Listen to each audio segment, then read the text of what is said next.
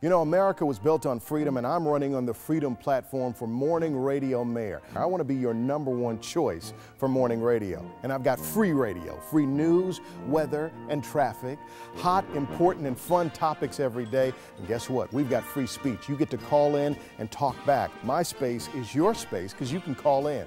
Why don't you do this? Tune to this radio station right here, and I'll see you in the morning. Who said the best things in life aren't free?